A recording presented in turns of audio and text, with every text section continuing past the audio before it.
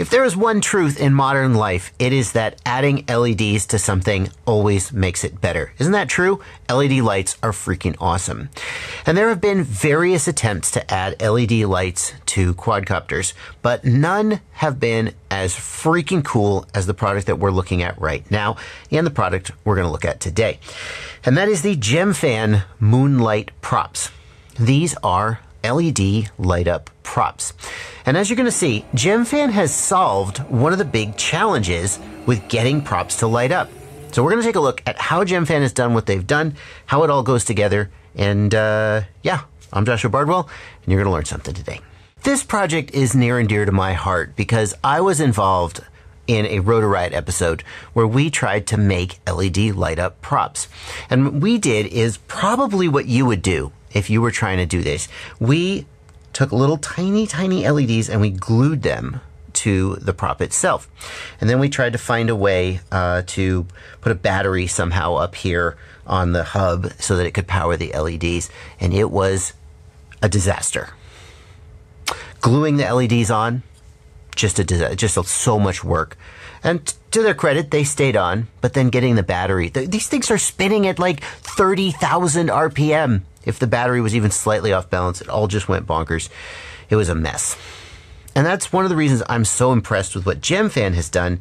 They have come up with a much, much more clever way of doing this. So what Gemfan has done is, I'm going to show you how it goes together, but they have put the LED here in the hub facing outward. And they have put a, a um, I don't know what you want to call it. It's not printed. It, I, I think they have like embedded inside the plastic or something these little markers that then scatter the light from the LED and cause the prop to light up. And you may notice, well, there's only one LED and only one prop lights up. Yeah, it's spinning at 30,000 RPM. It'll be fine. But this is a really, really elegant solution. It means that the props themselves are the same prop pretty much that you would be using any other time. There is a little bit of material removed from the hub to make room for the battery and the LED to slide down in. But so so presumably the hub may be just a little bit less durable than if it had all the plastic there. But overall, this is a really clever solution. So let's see how it all goes together. So this right here is a tiny flexible PCB. It's got the LED on it here, and it's got an on-off button here. There was a V1 of these props that didn't have an on-off button, and basically you just ran them until the battery died. Gemfan added an on-off button, so that's pretty nice. And that LED is going to slide down into this recess facing out and then fold down. And there are some uh, alignment tabs right here that this will fit down over to help keep it into place. Next, we need some batteries, and Gemfan does not ship these with batteries because that would, make the shipping more complicated. Um, the batteries are here are the batteries you need. I just bought this 10 pack off of Amazon. Now, this battery has a positive and a negative side. This is the negative side here, and the flat side here is the positive. When you install these in the hub, the positive side faces in towards the shaft, the negative side faces out towards the end tip of the prop. The props come with these little copper sheets here, and one of them has a little V-shaped cutout and one does not. You're going to take the one with the little V-shaped cutout and you're going to kind of push that tab inward so it protrudes a little bit and that's going to make sure it makes good contact with the battery. We're then going to put the positive terminal of the battery against that little tab and the flat one right there. And we got to install this inside the prop. I'm not actually sure what's going to be the best way to do this. U-shaped tab against the hub. Positive goes in, out. Here we go. This is going to be the way to do it. And then the one without the tab goes on the outside. And what, I don't know how well the camera is going to pick this up, but these tiny little tabs here are making contact with this trace to allow the current to flow. I'm going to do that same thing on the other side. Okay, let's see if we can do it more efficiently. Bend the tab,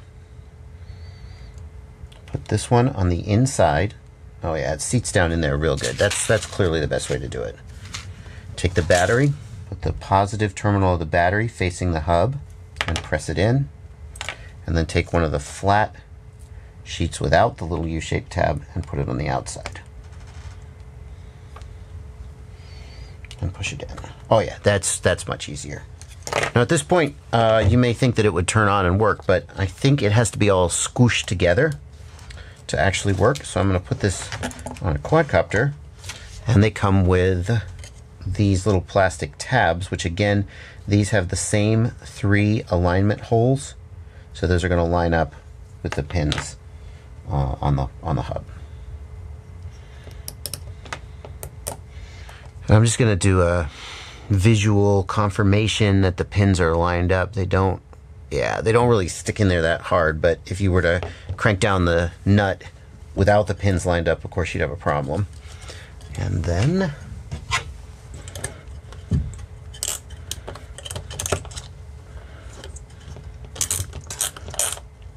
Oh, it turned on. There you go. And I guess to turn it off, I see, it's the pressure. I see. The pressure of the nut turns the turns the button on. I hadn't quite figured that out yet until this very moment. And when we take the nut off, I see we got to lift this up. There we go. That way you don't kill your uh, battery. Anyway, those are the Gemfan Moonlight Props V2, and if you're looking to get LED on your quadcopter, this is this might be the coolest way to do it. Um, yeah, you can put LEDs on other parts of the quad, but there's nothing like a great big circular prop disc lit up through the air. really, nothing matches it. So, links in the video description if you want to pick these up. Thanks to Gemfan for coming up with this really cool way of making this happen. And I got to say, thanks to Rotor Riot and specifically Chad Kapper. The whole time we were making that Rotor Riot episode, and it was a lot of work and an enormous pain in the butt to get those to work. I kept saying, is this even that cool? Is this going to be a good episode? Like, and I have to say, and he kept, Chad Kapper kept saying, yes, this is awesome. This is going to be great. And um, I have to say that he was right. I still don't know if it was worth all the trouble we went to, but now that Gemfan's made it easy, yes, this was really freaking cool, Chad. You, you, you. All right, well, that's going to do it for this video. Thanks for watching. Chad Kapper was right about something. Happy flying.